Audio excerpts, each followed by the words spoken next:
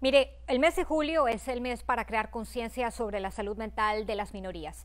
Por tal razón, esta noche le presentamos un reportaje especial sobre un problema de salud muy serio que ataca a miles de familias y muy particularmente a jovencitos. Es lo que expertos y profesionales de la salud han denominado una segunda pandemia. La diferencia es que para esta no hay vacuna. Veamos.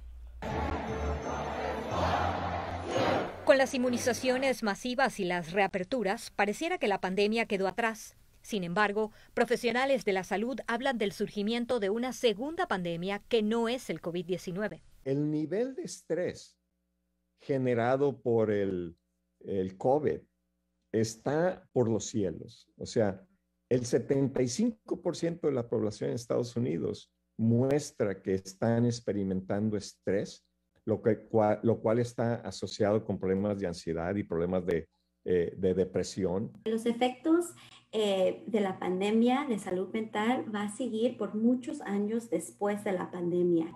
Y lo que vemos es eh, ansiedad, la depresión.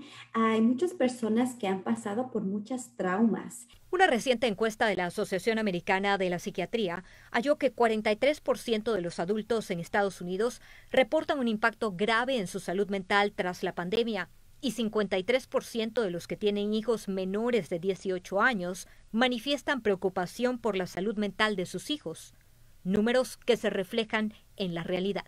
Me decía que, que tenía miedo de no poder respirar y que se iba a morir.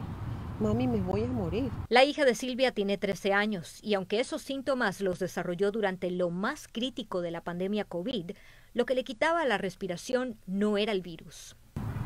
Ataques de pánico. Movimos su cama a la sala y ahí nos quedábamos todos porque tenía miedo de que mi hija dejara de respirar. Mientras que esta otra madre, Elizabeth, escuchó de su hijo las palabras más dolorosas. Me dijo, me voy a quitar la vida porque yo no puedo estar así. Su hijo de 13 años empezó a vivir en miedo constante y entró en depresión severa. Estaba muy aislado, nada más se la quería pasar en su cama o jugando PlayStation. No quería comer bien, me adelgazó mucho ya no quería salir, todo le parecía mal.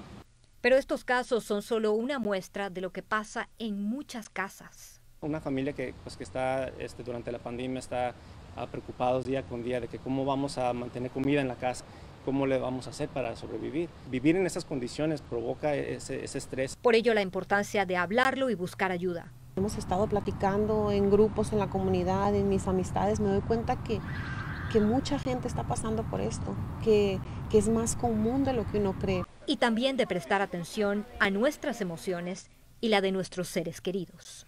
Que se acerquen a sus hijos, los abracen y que les digan qué sientes, qué deseo tienes, qué para, qué para ti qué fue la pandemia o todavía sigue siendo la pandemia. Hay una esperanza en ti. Bueno, aunque para los problemas de salud mental o emocional generados por la pandemia o por cualquier otra razón no hay vacuna, sí hay ayuda y hay que buscarla sin temor y cuanto antes.